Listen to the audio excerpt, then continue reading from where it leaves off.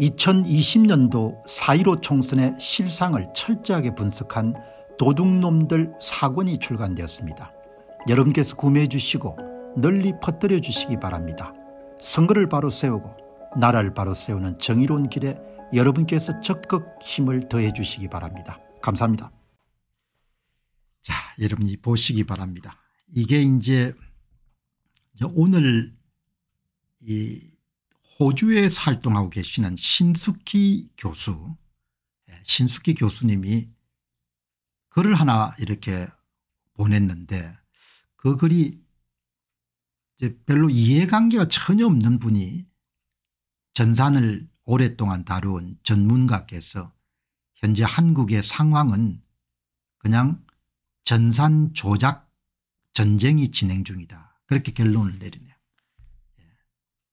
호주에 계시는 전산 전문가께서 연세가 좀 드셨으니까 예, 굉장히 냉정하게 이야기를 한 부분을 호주에 계시는 신숙희 교수께서 여러분들 글을 보내셨는데 필자의 남편은 정치에 별로 관심도 없었으나 이번 4월 10일 총선 통계 결과를 보고 필자에게 대노하면서 전한 말을 그대로 옮겨서 여러분들에게 알려드리도록 하겠습니다. 참고로 저의 남편은 부산고등학교를 졸업했고 서울대학교 전기공학과를 졸업했습니다. 카이스트 전산학과 석사 호주 울릉공대학 전산학 박사입니다. 그 당시에 여러분들 예, 전기공학과는 어마어마하게 여러분들 좋은 학과였죠. 화공과하고 예.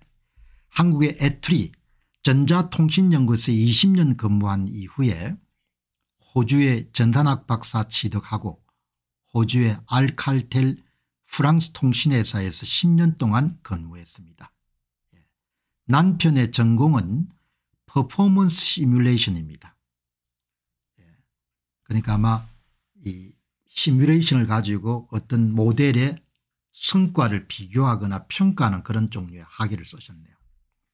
그러니까 데이터 분석에 굉장히 능하실 걸로 제가 생각을 할 수 있습니다. 88년도 올림픽 때에 팩스 모니터링 전산망 비밀 프로젝트를 이끈 경력이 있습니다. 지금은 은퇴한 지 15년이 지났고 예, 호주에서 조용히 살고 있는 평범한 이민자입니다. 이렇게 말씀하셨네. 예. 그럼 이제 전산학을 여러분들 아주 대한민국의 초창기 전산학의 선두주자들이네요. 이분이 지금 4월 10일 총선 결과를 보시고 어떤 결론을 내린지 한번 보시기 바랍니다. 이렇게 딱 정리를 해놨네. 예. 신숙희 교수님의 예.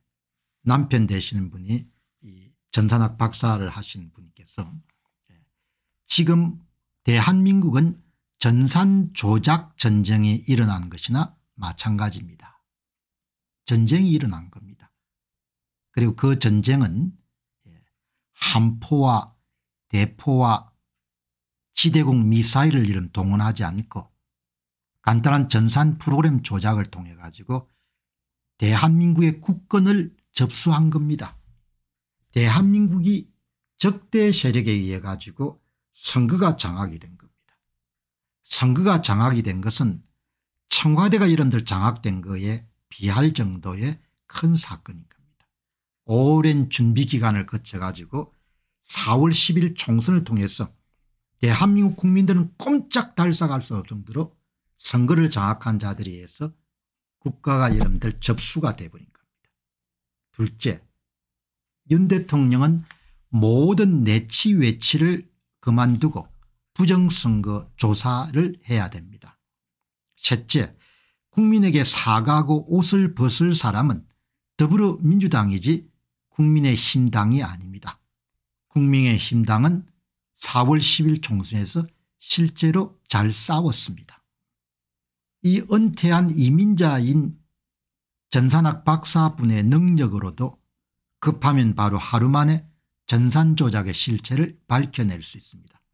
하물면 안티바이러스를 만든 안철수 의원은 예, 뭐하고 있는 겁니까 비겁자요 공범자가 아닙니까 정치하는 모든 사람들이 이런 겁니다. 나라가 골로 가든 나라가 망하든 간에 그냥 금배지 한 번 달고 내 임기 채울 수 있으면 국민을 팔아먹든 나라를 팔아먹든 전혀 관심이 없는 겁니다. 그게 지금 제가 관찰자 입장에서 대한민국의 지도층을 보는 눈입니다. 대통령이든 국회의원이든 장관이든 아무 관계없는 겁니다. 예. 다음에 산수갑산으로 같이 국민들이 이름들 노예가 되든 아이들이 뭐죠 그냥 완전히 노예 상태를 벗어날 수 없다 아무 관심이 없는 겁니다. 그냥 내 자리 보존하고 예. 그다음에 한 번 더 해먹고 그다음에 부정선거 저지른 자들은 우리끼리 해쳐먹는데 예, 도움이 되면 은 뭐 부정선거고 선거 사기고 나발이고 아무것도 없는 겁니다. 다섯 번째 대통령이 마음만 먹으면 전산 전문가 몇 분을 모집하여 타스크포스를 꾸려 조사하면 일주일 만에 다 파악됩니다. 전산 조작한 것은 전부 다 여러분들 다 내가 자료를 갖고 있으니까 그냥 그 자료 주면 일주일을 한 이틀 정도로 줄일 수 있을 겁니다. 컴퓨터 해킹은 아주 쉬우며 전산 조작은 누워서 떡먹기입니다. 여러분 지금 이 내용을 바로 신숙희 교수의 남편 되시는 서울대 전기공학과를 졸업하고 카이스를 여러분들 마친 다음에 전산학 박사를 하신 은퇴자의 이야기를 그냥 그대로 신숙희 교수가 여러분들 그냥 전한 겁니다. 일곱 번째 선관위 서버 자료 없애는 자가 바로 범인입니다.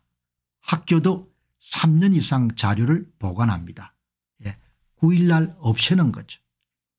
실제 사전투표자 수를 확인할 수 있는 가장 유력한 정보인 사전투표소에 온 사전투표자 수가 신분증 이미지를 스캔하면서 이런 만들어진 사전투표자 신분증 이미지를 한 달 만에 다 폐기하도록 여러분들 법을 고쳐가지고 여러분들 이번에 다 없어집니다. 예. 여덟 번째 이것을 당장 시행치 않는다면 윤 대통령도 공범으로 탄핵되어도 마땅합니다. 윤 대통령은 범인은 아닙니다. 그러나 범죄 행위를 은폐하는데 그냥 단순히 조력하거나 부역하는 정도가 아니고 적극적으로 협조하는 자다 이렇게 저는 봅니다. 예. 윤 대통령은 범인은 아닙니다. 본인이 직접 범행에 가입하지 않았으니까. 그러나 나라를 팔아먹는데 적극적으로 부역하는 자는 사실인 겁니다. 그것을 공범으로 칠수 있는지는 뭐 법률가들의 의견을 들어봐야겠지만 예. 대통령은 어마어마한 직무유기를 범하고 있는. 아홉 번째 이것을 방치하고 침묵하는 안철수 이하 국민의힘 국회의원들은 천하의 호구이고 역사의 죄인으로 추궁받아야 될 것입니다. 필자의 남편은 마산 출신으로 겉으로는 아주 조용한 성격이나 한 번 불의를 보면 거침없는 강한 말을 쏟아내는 사람입니다. 감안하시길 바라고 전산 직업에 손을 뗀 지 오랜 사람이 IT 강국인 모국에서 선거에 전산 조작이 있는 의혹과 증거에 침묵하는 전산 전문가들에게 다시 한번 경종을 올리려 이거를 긴급하게 전달해 봅니다. 예. 호주의 시드니에 계시는 신숙희 교수께서 전산학 박사인 여러분들 남편분의 이야기를 간단하게 이렇게 메모해서 전달한 겁니다. 여러분 다시 한 번 더 정리드리게 되면 대한민국의 여러분들 부정선거는 IT 강국답게 주력 부대가 전산 조작입니다. 전산 조작. 예. 실제 사전투표장에 오신 분들 숫자보다도 실제 사전투표장에 오지 않은 가공의 위조 사전투표자 수를 허스로 만든 다음에 그것을 전산 프로그램을 이용해 가지고 더불어 민주당 후보에게 더해주는 방식을 사용해 온 겁니다. 달리 표현하게 되면 선거관리위원회가 우리 더불어민주당 후보들을 특별히 사랑하사 더불어민주당 후보에게 특별히 위조 사전투표지 가공 사전투표지를 전산 프로그램 이용해 가지고 4월 10일 총선 같은 경우는 사전투표소에 세 사람이 올 때마다 위조 투표지 한 표씩을 플러스 1 플러스 1 플러스 1 이름 대해 가지고 서울의 전 선거구 48개에서 만 5천 표 내외 정도를 여러분 투입한 겁니다. 만 5천 표를 투입하게 되면 당선될 수 있는 사람이 아주 드뭅니다. 그렇게 하고 예, 사전에 미리 다 인쇄해서 준비해 둔 위조 투표지를 그 이후에 투입한 것으로 보입니다. 그러니까 지금 선관위에 보관되어 있는 예, 투표함 속에는 실제로 사전투표소에서 표를 던진 진짜 투표지하고 선관위가 여러분들 위조해서 투입한 위조 투표지가 함께 들어있겠죠. 그 상태가 지금 그걸 겁니다. 예. 그러니까 지금의 문제는 이 전산 조작이란 부분들이 중요하고 전산 조작은 숫자를 조작했기 때문에 지금 점검물들이 모두 다 서버 안에도 있을 것이고 그리고 중앙선관위 홈페이지에 올라 있는 최종 결과물에도 들어있는 겁니다. 그렇기 때문에 저는 뭐 윤 대통령이 앞으로 탄핵을 당하든 탄핵을 당하지 않든 간에 별로 관심이 없습니다. 그건 뭐 그 사람 일이니까. 예.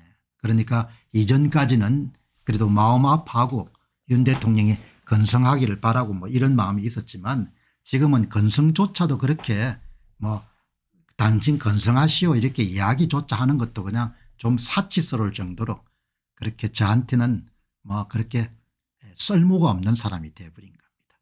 지도자가 경멸을 받게 되면 그걸로 끝나는 겁니다.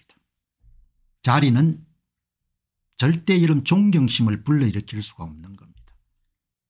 허우대는 절대로 존경심을 불러일으킬 수 없는 겁니다. 화술 뭐 그거는 다 테크닉이기 때문에 사람들이 마음을 울릴 수가 없는 겁니다. 사람을 여러분들 마음을 끌 수 있는 것은 그 사람이 갖고 있는 진심입니다. 진심. 진심이 있을 때 사람을 움직일 수 있지 않습니까 국민들을 배반하고 국민들을 노예 상태로 쳐넣은 지도자를 누가 존경하겠습니까 국민들이 기성세대뿐만 아니고 태어나지 않는 세대까지 모두가 부정선거가 여러분들 고착화된 나라로 쳐넣는 그런 대통령을 누가 신뢰할 수가 있겠습니까?